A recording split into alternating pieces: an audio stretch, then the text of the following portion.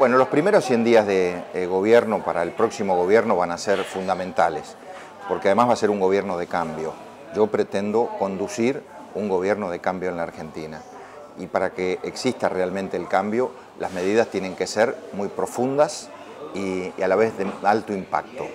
Hay tres cuestiones culturales que en los primeros días el próximo presidente tiene que implementar.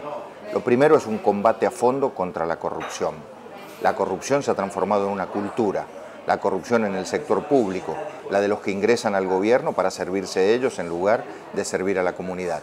Por lo tanto, una primera medida va a ser la creación de la CONADEP de la corrupción, para poder ayudar a la justicia a investigar todos los hechos vinculados a la corrupción en los últimos tiempos.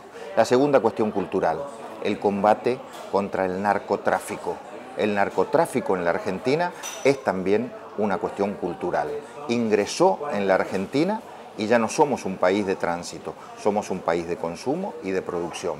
Y el próximo presidente tiene que ser el jefe de un programa nacional de combate contra el narcotráfico que involucra también la inseguridad.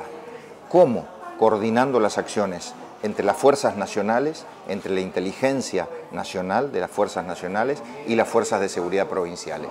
Y la tercera cuestión cultural, la Argentina tiene que recuperar la cultura del trabajo, la cultura del trabajo que se contraponga a la cultura del clientelismo.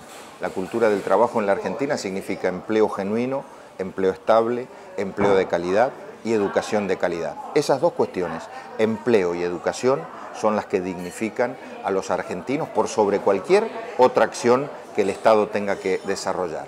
Y quiero hablar de educación, porque quiero que sepan que si soy presidente, voy a ser el encargado de la seguridad y el encargado también de la educación, más allá de que haya un ministro.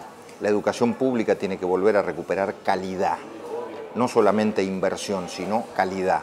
Educación pública formadora que deje atrás el esquema de la educación pública contenedora. Educación pública para formar en valores, para formar ciudadanía, para formar buenas personas y además para preparar para el trabajo. Ese es, en definitiva, el marco de los primeros 100 días de gobierno.